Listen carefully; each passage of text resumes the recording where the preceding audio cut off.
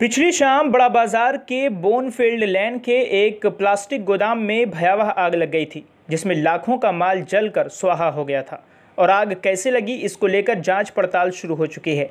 और आज घटनास्थल पर फॉरेंसिक डिपार्टमेंट की टीम पहुँची, जहाँ उन्होंने पूरे घटनास्थल का जायजा लिया और कई जले हुए टुकड़ों को अपने साथ फॉरेंसिक जाँच के लिए ले गई। हालाँकि उन्होंने आग लगने की असल वजह बताने के सवाल पर कुछ नहीं कहा। लेकिन माना जा रहा है कि इस फॉरेंसिक जाँच में इस भयावह आग का सही कारण का पता चल पाएगा। आपको बता दें कि कल शाम बड़ा बाज़ार के एक प्लास्टिक गोदाम में भयावह आग लग गई थी। वहीं मौके पर दमकल की चार इंजन पहुँची थी और कड़ी मुशक्कत के बाद आग पर काबू पाया था। इस घटना की खबर पाते ही राज्य के मंत्री और कोलकाता कॉरपोरेशन प्रशासक बोर्ड के चेयरमैन फिराद हकीम भी मौके वारदात पर पहुँचे और हालात का जायजा लिया।